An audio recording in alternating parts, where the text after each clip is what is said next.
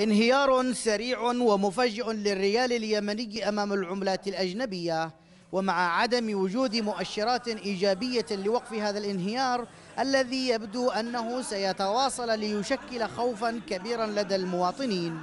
طبعا الحرب وميليشيا الحوثي بنهبل الصرافين وعدم رقابة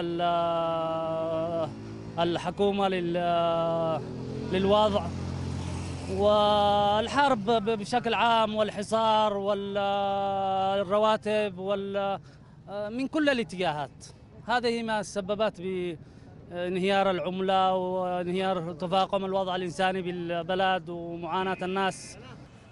حرب الميليشيا الانقلابية على الوطن وحملتها الأخيرة على محلات الصرافة وغياب السياسات المالية الواضحة للحكومة الشرعية أهم الأسباب التي أدت إلى انهيار العملة؟ عدة أسباب منها زيادة انتشار السوق السوداء.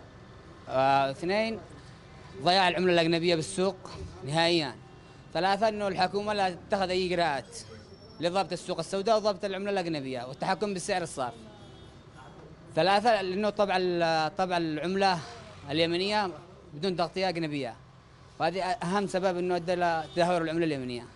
بشكل مخيف. الآن وصل سعر الدولار ل 500 و 510 سعر السعودي ل 135 ألف. هذا الانهيار انعكس كثيرا على أسعار المواد الغذائية التي ارتفعت بشكل جنوني ما فاقم الوضع المعيشي للمواطن الذي يدفع وحده ثمن هذه السياسات الاقتصادية غير الواضحة. طبعا نريد إيصال رسالة إلى السلطة الشرعية ممثلة برئيس الجمهورية عبد رب منصور هادي بما يعاني المواطن نتيجة ارتفاع الأسعار ووجود خلل كبير في أسعار المواد الغذائية وبالذات المواد الأساسية كالأرز والسكر وغيرها من المواد التي يحتاجها المواطن.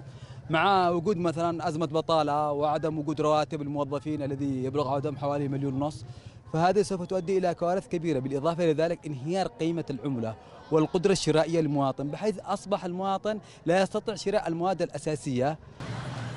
تخوف كبير لدى الشارع من تواصل الانهيار السريع لقيمة العملة المحلية في ظل انعدام مصادر الدخل وتوقف رواتب موظفي الدولة بالتزامن مع حالة الحرب والحصار الذي تعيشه المحافظة. لا تنهار الميليشيات الانقلابية وحدها تحت ضربات قوات الجيش الوطني. فهناك ما يشهد انهيارا آخر في حرب قد لا تنتهي قريبا بل وتشهد انحدارا أخطر يتمثل بقيمة العملة المحلية وحالة التدهور أمام العملات الأجنبية ما ينعكس سلبا على حياة المواطنين هنا في ريف محافظة تعز. وتتفاقم الحالة المعيشية بشكل أكثر مأساوية لغالبيتهم. فواز الحمادي قناة بلقيس تعز.